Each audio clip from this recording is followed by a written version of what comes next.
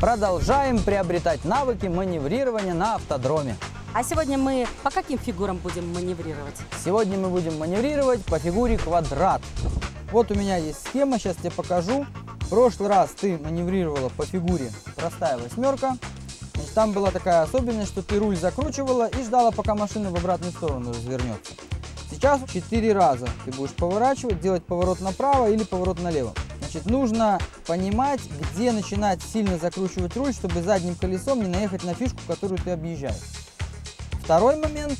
Нужно так возвращать руль в обратную сторону, чтобы колеса попали в следующий створ фишек. И вот так вот мы постоянно ездим, тренируя чувство габаритов автомобиля и чувство возврата передних колес, чтобы они двигались туда, куда нам необходимо. Для фигуры квадрат нам понадобится всего лишь 8 фишек. Сначала мы их выставим так, чтобы Вика поворачивала все время налево, а потом поменяем на правую сторону. Почему нужно сначала на левый поворот выставляться? Потому что его делать проще.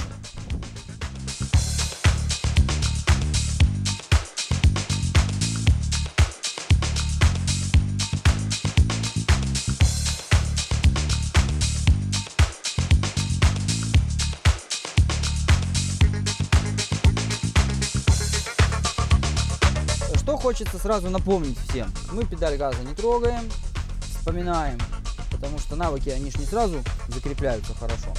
Значит, э, давай вспоминать с тобой, в какой момент начинаем закручивать руль. Значит, когда мы въезжаем в фишки, и у нас передние колеса уже начинают въезжать, мы немножечко, немножечко начинаем подворачивать, а когда мы поняли, что фишка уже ушла в район заднего колеса, мы начинаем крутить уже руль быстрее. То есть вот мы чуть-чуть начали, закрутили быстрее. Это вот первый момент, который мы должны тренировать. То есть понимать, где сильно нужно закручивать руль, чтобы не наехать на фишку, которую мы объезжаем. Второй момент, вот этот вот сейчас вот, возврат руля. После того, как мы закрутили руль, мы должны сразу же начинать его аккуратненько возвращать. И потом уже мы смотрим, с какой же скоростью нам вращать руль, чтобы у нас колеса попали в створ фишек. Ну вот замечательно у Вики очень даже получается, она еще не сбила ни одной фишки. И очень хорошо она возвращает руль, чтобы попасть в створ. Вот ты поездила левой стороной, сейчас мы с тобой остановимся. Давай заезжай внутрь квадрата, туда внутрь заезжай, и мы поставим теперь уже правой стороной будем ездить. Какое отличие у нас правого поворота от левого? Водитель в автомобиле сидит с левой стороны, и он хуже в результате чувствует э, правый габарит.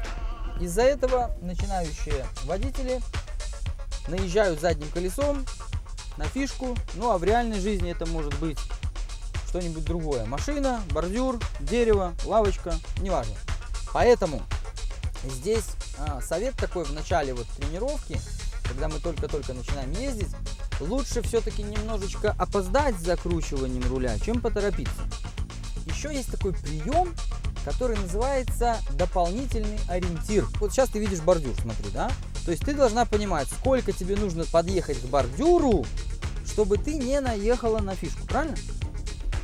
Это очень удобно. Хотелось бы еще напомнить одну вещь. Э, значит, сначала мы тренируемся на минимальной скорости без подачи газа.